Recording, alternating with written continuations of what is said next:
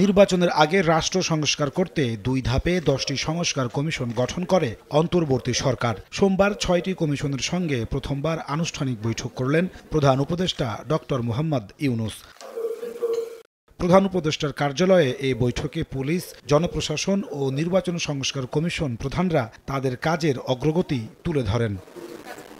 জনপ্রশাসন সংস্কার কমিশন প্রধান আব্দুল মুইদ চৌধুরী প্রধান উপদেষ্টাকে জানান, সংস্কারের আকাঙ্ক্ষা ও চাহিদা নিয়ে জনগণের সঙ্গে মত বিনিময় সভা করছেন তারা। বিভিন্ন ক্যাডার প্রতিনিধির সঙ্গে আলোচনা শুরু হয়েছে।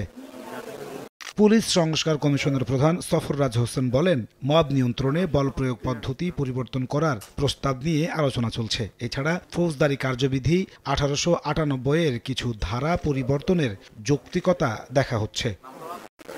বৈঠকে নির্বাচন সংস্কার কমিশনের প্রধান বদিউল আলম মজুমদারও কাজের অগ্রগতি অবহিত করেন প্রধান উপদেষ্টাকে। জানান, প্রবাসীদের ভোটাধিকার নিশ্চিতে যথাযথ পদক্ষেপ নেওয়া হচ্ছে। অনুপস্থিত ভোটারদের জন্য পোস্টাল ব্যালট নিয়ে কাজ চলছে। জাতীয় পরিচয়পত্রের সঙ্গে ভোটার তালিকার সমন্বয় করা হচ্ছে।